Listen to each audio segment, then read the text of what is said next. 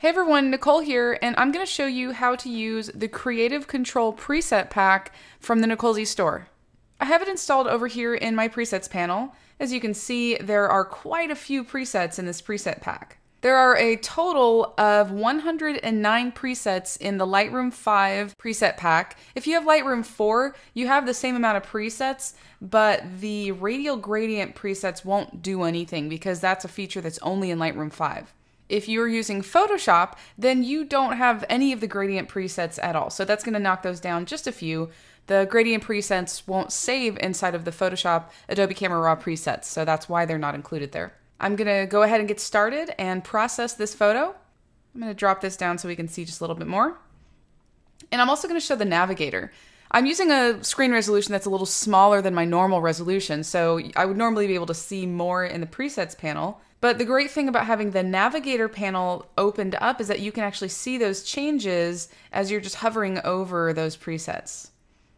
The way that the Creative Control preset pack works is you go through each category over here on the left and you select which one you want to apply to your image. And each of these categories, I'll go ahead and start out in the tone curve. And I'm also going to open up the tone curve panel, just make sure that's the only one that's opened here so you can see everything that I click in here is only going to affect the panel that it's uh, connected to here. So this is the tone curve section, so it's only going to affect the tone curve panel. So I can hover over them, I can click on them if I like, just to try different ones out. It doesn't matter what I do, it's only going to affect that one panel, so I don't need to use the undo key. In fact, if I get to a point that I'm not quite sure if I even want to use a tone curve adjustment or any of them, all you have to do is just click on this top one, the category name, and it's going to reset that specific panel. But I'm going to go ahead and apply one. I'm going to apply contrast. Then I'm just going to kind of scroll through and see what else I can find. Let's see here. I think I'm going to warm it up a little bit with the uh, radial gradient vertical warmth. I might even see if I want to work with a black and white. Let me hover over some and see if there's any I like. No, I think I'm just going to go ahead and not use a black and white. Now, if I wanted to reset the black and white, I would click that. But if I want to go back to color, I just need to go down to the color tab and click color. It's not going to make any changes from any of these color adjustments. It's going to reset that panel and switch it back to color instead of black and white.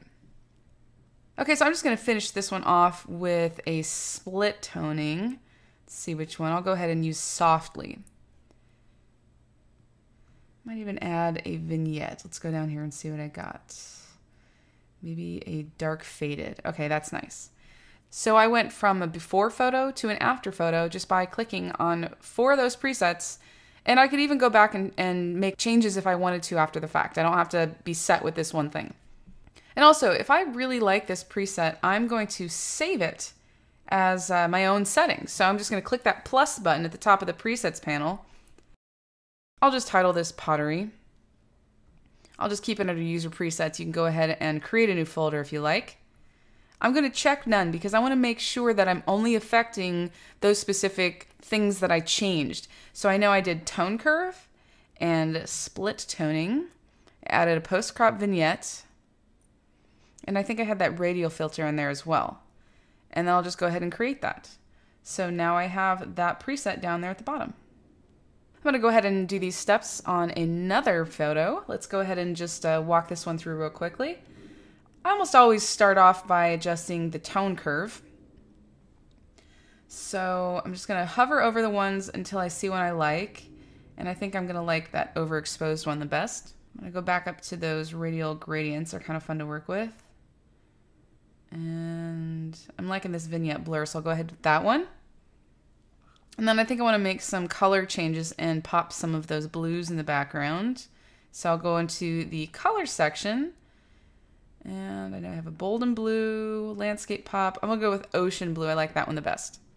And now if for some reason I didn't like what I have going on here and I wanted to start from scratch, scroll all the way to the top, click that reset all button, and it takes you back to your before image and it erases all of those changes that you made with any of the creative control presets. I'm actually going to undo that because I do like those changes that I made. I'm going to scroll down and I'm going to add a vignette to finish it off. And I'll just go with dark corners. Okay, real quickly, I'm just going to do one more, but I want to show you another way that you can use the Creative Control preset. You don't have to use it from start to finish. You can actually use it as a complement to other presets. I'll show you how. I'm going to go into my Nicolesy Cross Process preset pack. I'm going to scroll down and I'm going to add the crayon preset.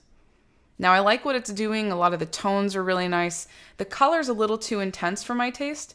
So I'm going to go back up to the split tone section and see if there's another split toning that I like a little bit better. And I think at the beginning I really like this cool shade one. So I click on that. And I would like a little bit harsher vignette. So I'm going to, let's see, there was one there. It was really subtle. I just did that by clicking on the vignette category, which reset the original vignette. And I'll just scroll through and see if there's one in here that I like a little bit more. And dark soft, that's really nice. And I'll go ahead and just toggle that before and after. And I did that just by adding a preset and then adjusting it using the Creative Control preset pack.